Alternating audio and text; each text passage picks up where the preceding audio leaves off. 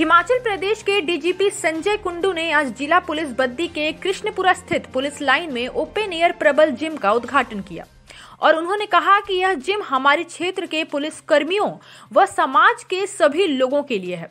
उन्होंने कहा कि अगर हर व्यक्ति स्वस्थ होगा तो उसे किसी भी प्रकार की बीमारी का जीवन में कोई खतरा नहीं होगा और वह स्वस्थ रहेंगे। उद्घाटन के बाद डीजीपी ने पुलिस लाइन में महिला व पुरुष पुलिस कर्मियों के लिए बन रहे चौतीस बैरिक जो कि बीएसएनएल द्वारा तैयार कर दिए गए हैं, उसका निरीक्षण किया। उन्होंने कहा कि वह जल्द ही प्रदेश के मुख्यमंत्री से आग्रह करेंगे कि जब भी उनका बद्दी नालागढ़ का दौरा होगा तो वे इसका उद्घाटन करें, जिसके बाद यह पुलिस के उपयोग में आ सकेगा। जिसके लिए उन्होंने जिला पुलिस बद्दी के पुलिस कर्मियों को बधाई दी। साथ ही उन्होंने बताया कि मानपुरा व नालागढ़ क्षेत्र के थाना के निर्माण के लिए डीपीआर तैयार कर सरकार को भेज दी गई है, जो कि सरकार के विचाराधीन है। यह दोनों थाने लगभग आठ करोड़ की लागत से तैयार होंगे। इसके बाद डीजीपी द्वारा बद्दी में बन रहे महिला थाना का भी निरीक्षण किया गया।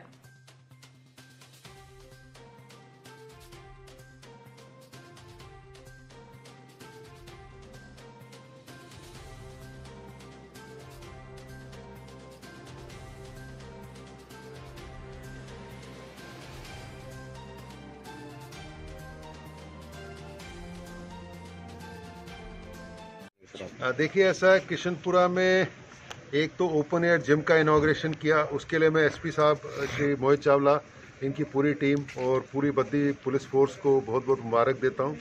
इस तरह का पहला ओपन एयर जिम है हिमाचल में और इससे मेरे को लगता है लोगों को स्वास्थ्य भी ठीक रहेगा, मनोबल भी ठीक रहेगा।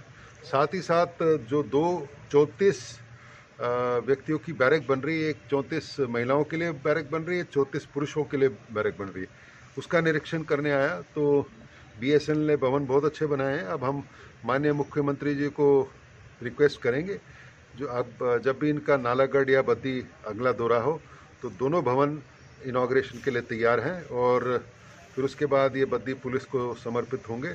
इसके लिए भी बद्दी पुलिस को बहुत बहुत बधाई। नालागढ़ मानपुरा ये नए पुलिस स्टेशन बन रहे हैं और इसका जो एस्टिमेट बन चुका है ये सरकार के विचाराधीन है और मेरे को लगता है जब सरकार का अप्रूवल हो जाएगा एक डेढ़ साल में भव्य भवन बनेगा। ये नालागढ़ और एक और मानपुरा पुलिस स्टेशन के करीब आठ करोड़ की लागत से भवन बनेंगे और मैं आशा करता हूँ सरकार जल्दी उनका एडमिनिस्ट्रेटिव अप्रूवल देगी।